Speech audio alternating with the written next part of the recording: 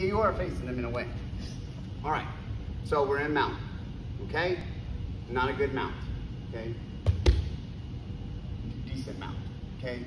My, my body weight's averagely, evenly dis distributed, all right? All right? I'm not talking about hooking and doing all these. I just, okay, I'm not off balance. I'm not too high. I'm not, not butt up in the air. All right. I need to get one arm, all right? They may have their arm like this, kind of really high up, being protected of their neck. Um, maybe it's uh, punching, it's MMA, you hit and they so they're blocking really high. You might be able to just kind of do a little oomph and lay down, okay? I don't have the luxury of people sticking their hands in their face because we fight people who actually know what they're doing, all right? So I'm gonna take my hand, all right, and I'm gonna walk it all the way up, okay?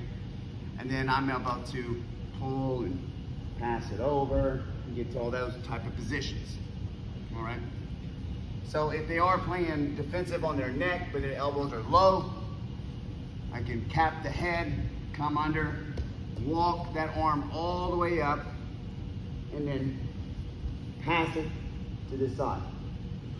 Now, a lot of people have problems, depending on what they're trying to do, getting this arm under control, right? So they, they may try to, they're trying to set up, like say, a head and arm. So they, they put their hand in right here, and this arm is still across his face. It's not down in his neck, all right? We need it down for the, the head and arm choke, all right? Some people taught me to push the head and come back over like this we can simply just take our arm, come over and drive it back across. Boom. Now we've got it.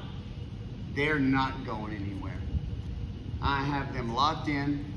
It's not really choking them, but it feels like a halfway choke. So they're kind of disoriented a little bit, but they're breathing.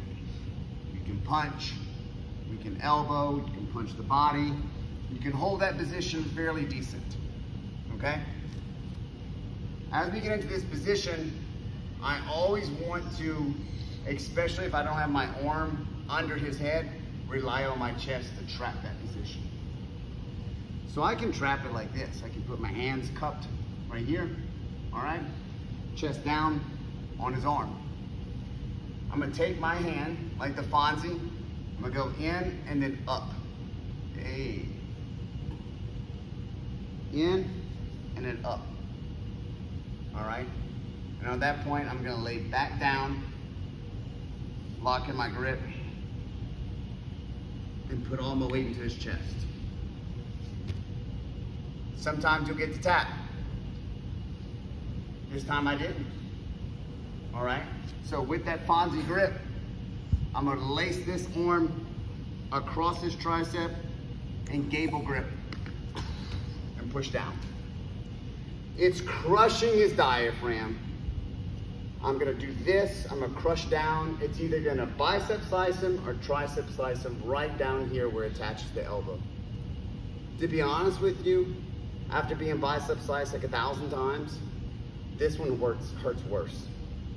There's a way I do it here and I do it here on a couple of different positions and people normally just freak out when they feel it. They'll either just spaz out and give me another submission right away because it's so painful so quick, or they'll just tap instantly because it's so bad, all right? This double grip like that becomes insanely tight, all right? How bad was it, how quick? Real bad, real quick. Yeah, real bad, real quick. It's like, oh dear Lord, something's truly tearing off the bone. And that's what we're looking for. We're trying to tear the bone. Sorry, we're trying to tear the muscle clean off the bone. That's what we're doing, all right? So, in a little bit more methodical, faster pace, here we are. Reach back, walk up. Take my arm, pass it over, cap it. Take this hand, shoot it through. Come over his tricep, boom. Gable grip, twist. I'm gonna do this. All right? At any time, you can slow everything down and control that movement.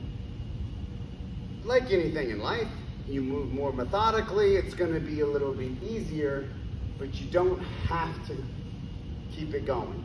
You know, sometimes I say, okay, here's three moves, but it's really one move. It is all just one basic move.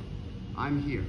I'm gonna take my time and pick what side I want and work my way up.